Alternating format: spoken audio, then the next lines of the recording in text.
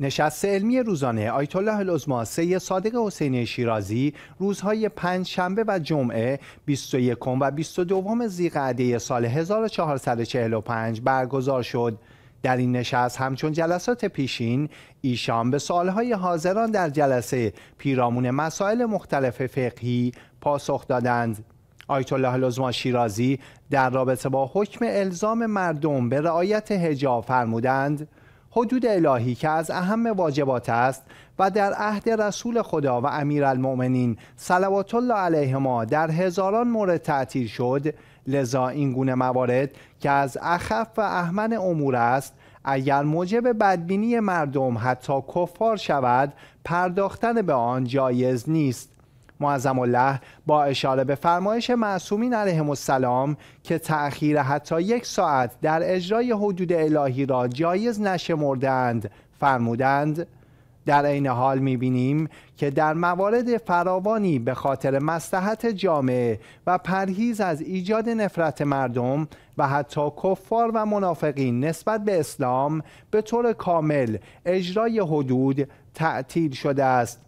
ایشان در رابطه با وجود حکم حکومتی در زمان پیامبر اکرم صلی الله علیه و آله و استفاده آن حضرت از آن فرمودند گرچه برخی از فقها در این رابطه گفتند که رسول اکرم صلی الله علیه و آله در برخی موارد از حکم حکومتی استفاده کردند اما مشهوران است که احکام حکومتی نبوده و حکم واقعی هستند.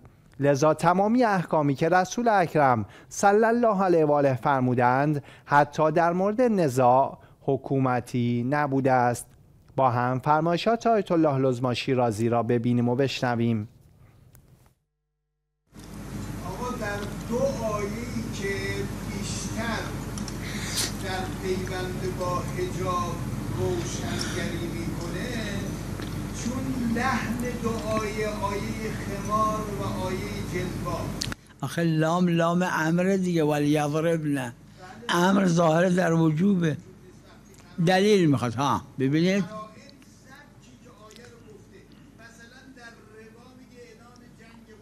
بله. بله. قبول دارم.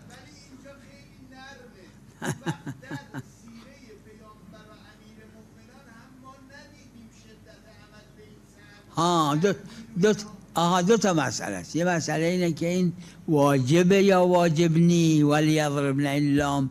لام ظهور در وجوب داره. امر ظهور در وجوب داره مگه قرینه باشه بر عدم وجوب.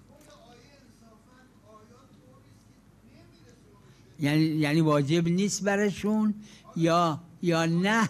یا یا الزام حاکم شهر الزام نمی‌کنه. آها. می‌دونم.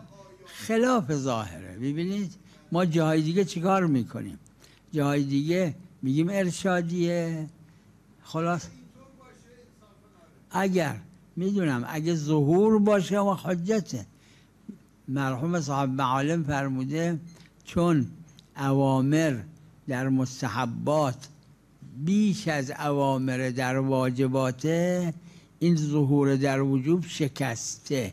دونه دونه باید ما وجوب را از قرائن به دست بیاریم. احدی غیر ایشون همچی فرمایش نفرموده. نه اساتید ایشون مثل محقق اردبیلی و اینها نه شاگردای ایشون. خلاصه کسرت استعمال در غیر معنای حقیقی. اما به قرائن سبب نمیشه که معنای حقیقی از تبادر بیفته. لحاظا قاعدش میگیم واجبه. فقط آیا این واجب را با شدت باید عملی کرد؟ نه. اینو نه پیغمبر نه حضرت امیر علیه السلام و علی آلهم المعصومین. نسبت به هیچ موردی انجام ندادن